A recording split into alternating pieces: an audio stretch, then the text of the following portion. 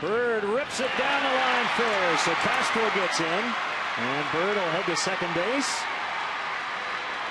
And he'll hold there with a game-tying RBI double.